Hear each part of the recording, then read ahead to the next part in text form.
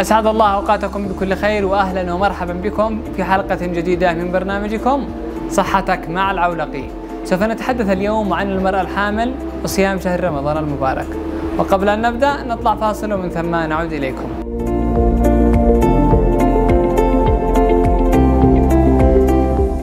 هل للصيام تأثير على المرأة الحامل ومتى يجب عليها الإفطار؟ هل يؤدي صيام المرأة الحامل إلى نقص وزن الجنين أو ماء المشيمة؟ وما أفضل الطرق المناسبة لتغذية المرأة الحامل؟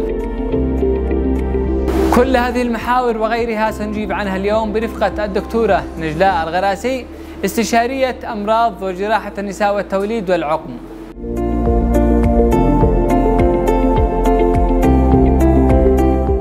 بمناسبة الشهر الكريم حبينا بس نتكلم عن المرأة الحامل والصيام. عادة المرأة الحامل تأتي إلى العيادة تسأل هل الحمل يؤثر أو الصيام يؤثر على الحمل؟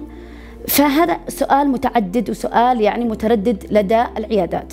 فأنا سوف نقول لها ماذا سنرد عليها؟ الرد هو سوف يكون هل أنت تحاولين أن تغذي نفسك في الإفطار في بعدين بعد الصيام هذا لما تفطري هل أنت بتتغدين سواء هل تأخذين تشربين الماء؟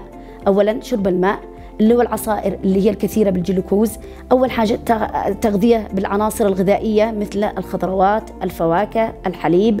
تحاول إنها ما تعملش الأشياء الثقيلة أو كمان الأكل الثقيل مرة واحدة بعد معدة فارغة. هذا يؤثر على معدة الحامل لأن سبحان الله الحامل تؤثر في الجنين يكون في الرحم فهذا يضغط لنا على المعدة. فلما نأكل وجبة ثقيلة على معدة فارغة فهذا يؤثر عليها. فنقول لها نصيحتنا لك أول حاجة شرب الماء شرب العصائر أكل المواد الغذائية التي هي كثيرة العناصر والمعادن مثل الخضروات الفواكه الحليب. رابعا هي أنها لا تأكل الأشياء الثقيلة مرة واحدة وتحاول أنها تأخذها في أوقات متعددة بوجبات بسيطة. ثالث حاجة أنها لا ترهق نفسها ولا توتر نفسها. إذا مثلا الحامل تعرضت في الشهور الأولى إلى الغثيان الكثير أو الطرش الكثير هذا الذي يجي مع الحمل في الشهور الأولى فممكن أنها تفطر إذا حست بالدوخة. مثلا في عندنا قياس اللي هو السكر قياس الضغط فإذا حست أنه هذا سوف يؤثر عليها فممكن أنها تفطر في أيام أخرى أن تقضي هذه الأيام. ثانيا اللي هي الشهور الثلاثة اللي هي في النص اللي ممكن يجي لنا فيها اللي هو تسمم الحمل أو سكر الحمل. فهذا ضروري إن المريضة تكون متابعة نفسها إنها عندها هل عندها من أول قصة مرضية من قبل؟ هل عندها سكر الحمل؟ هل عندها تسمم الحمل؟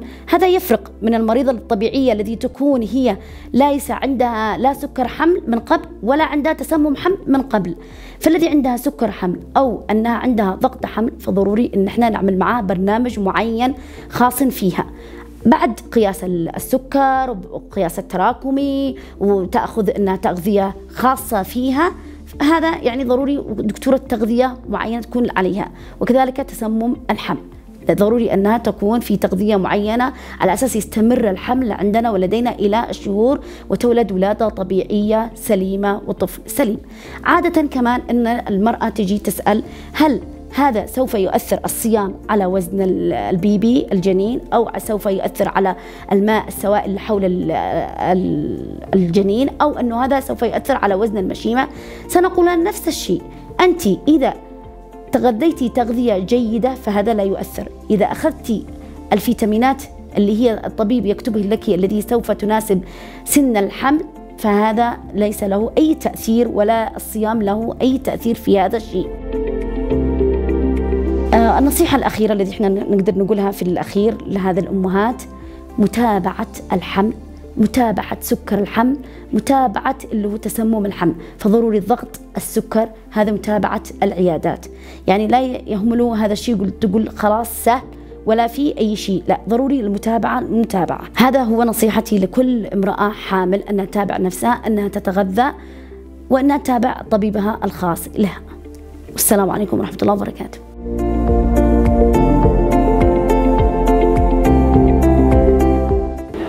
نشكر الدكتورة نجلاء الغراسي على هذا الطرح الجميل. وسؤال حلقتنا لهذا اليوم متى لا يجب على المرأة الحامل الصيام؟ للفوز بالجائزة شاركونا الإجابة في التعليقات دمتم بخير.